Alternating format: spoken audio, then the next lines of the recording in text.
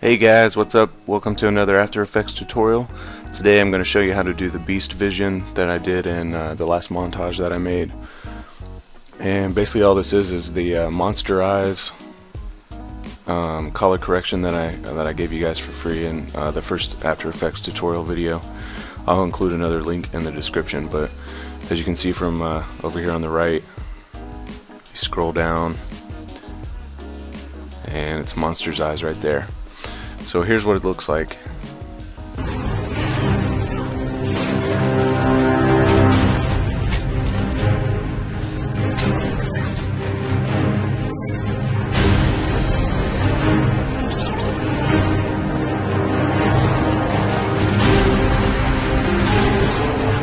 Alright, so a couple things we're going on here to make this uh, happen. I like to use adjustment layers and basically an adjustment layer is just a layer that whatever you do to it it will change and alter all the layers underneath it. So as you see right here I got this labeled beast vision.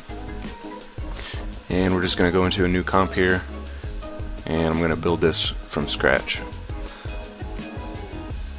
So go ahead and delete this. I'm gonna create a new adjustment layer I'm going to set some markers here where I want the effect to start and to stop. Again, just holding shift to make it sure that it snaps to the area that I want. And then I need to trim this adjustment layer, so I'm going to hit Alt back bracket to end it right there, and Alt start bracket. And we'll go ahead and rename this Beast Vision. And now we just need to drop in that uh, color correction. So just do a little search, type in, type in the name of the effect I want to find, just drag and drop that on there. Now the problem that we uh, have right off the bat is it goes from no effect to all the way on. So what we want to do is uh, fade that in. So if you drop down the adjustment layer, drop down effects, and the CC lens is the effect that makes it that gives it that uh, that curved look and it's the size and the convergence. So if as you see if I adjust the convergence it changes it like that. So what I want to do is I want it to go from nothing to just a little bit stay on for a while then go back to nothing again. So what we're going to do is go to the start of the clip put this on zero you're going to click the stopwatch for convergence. Then just scroll over just a little bit and change the amount to whatever you want. I like to change it until you got kind of like an iris around the middle. Right about there looks pretty good.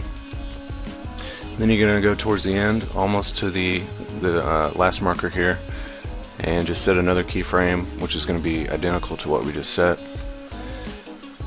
and then lastly just go to the very end and set that back to zero. Now what that does is as it scrolls through the timeline it'll slowly fade in it'll hold it right there then it'll fade out. And this uh, keyframe uh, setup right here this pattern you need to if you really want your uh, effects to fade in smoothly and fade out just remember this pattern right here and it'll work uh, pretty good for whatever effect you choose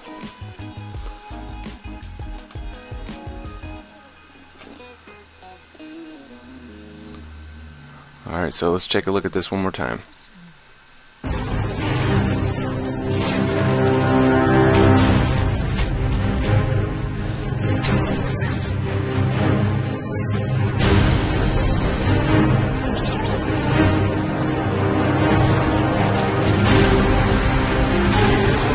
Alright, that's pretty much it. I got another little effect here I want to show you guys so I can demonstrate that fading in and fading out and this effect is called find edges. As you can see right here I got the same little uh, keyframe pattern going on.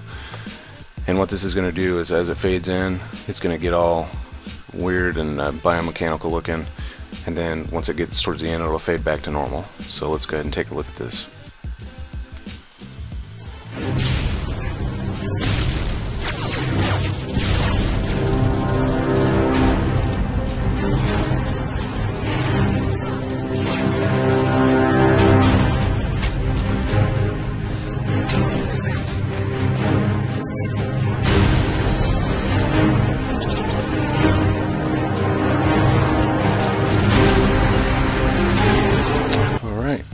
Uh, another tip for you guys, uh, the reason I like to use adjustment layers like this is let's say I want to use this, duplicate this effect for later on.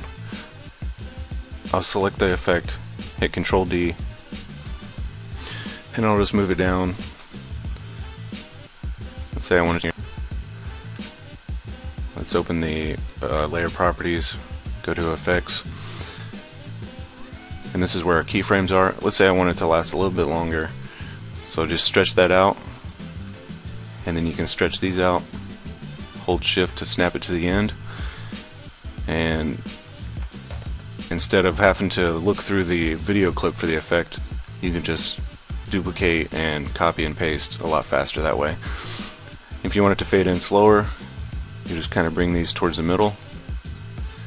And you know vice versa if you want it to come in real fast and go back out.